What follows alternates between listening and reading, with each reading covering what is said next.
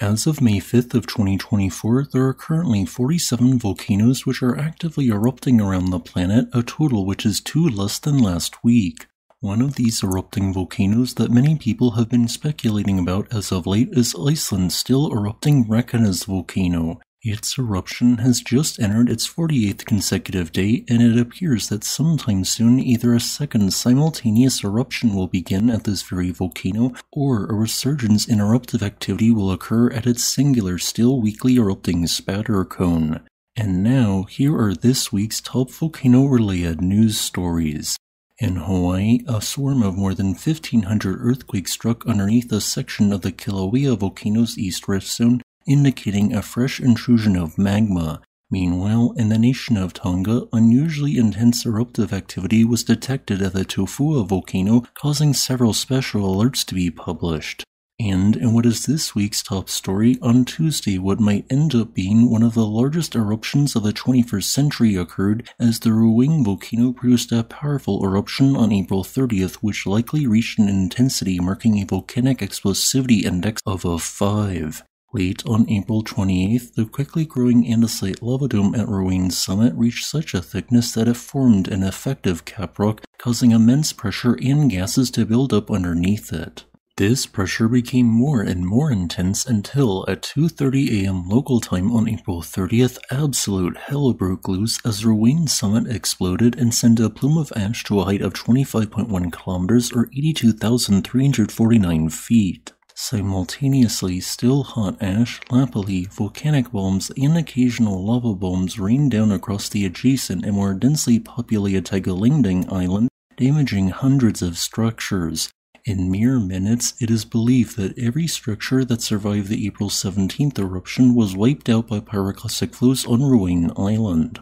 The Plinian phase continued for 210 minutes until ceasing at 5 am, by which time 940 million cubic meters of tephra had been ejected. Since as much as 800,000 tons of sulfur dioxide gas were also ejected, large amounts of this gas combined with water and oxygen in the atmosphere to form sulfuric acid. While thankfully insufficient to cause a volcanic winter, enough sulfur dioxide was emitted to create unusually vivid sunsets in sections of the southern hemisphere, such as this viewer sent example from New South Wales in Australia.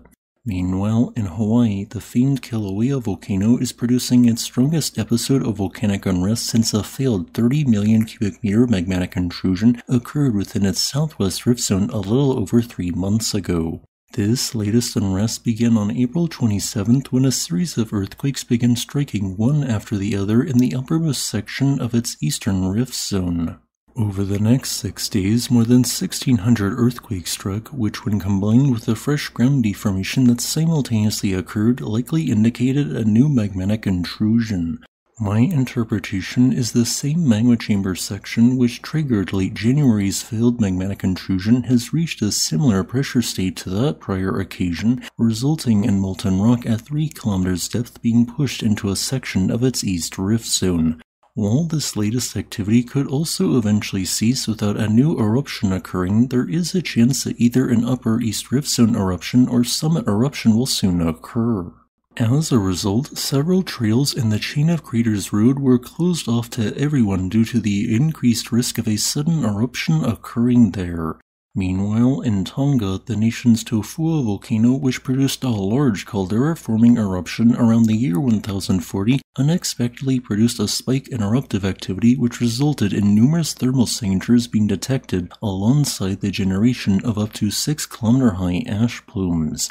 While Tofua's recent activity has largely consisted of weak eruptions from its small but fairly persistent lava lake in the northern section of its caldera, at 9.56 am on April 26 something changed. Thermal signatures quickly spread out from this lava lake and dozens of explosions were detected, marking Tofua's most intense explosive eruption in 60 years. Ash plumes rose up to a height of 6 kilometers, which I believe to have been generated by either repeated moderate-sized volcanic explosions or activity associated with a newly erupted lava flow. Luckily, eruptive activity quickly declined in the following 48 hours, marking what occurred as perhaps only a one-off event. Here is a quick list of all the world's volcanoes which are currently erupting. Additionally, here are some volcanoes showing signs of unrest which are not erupting as of the recording of this video on May 4th of 2024.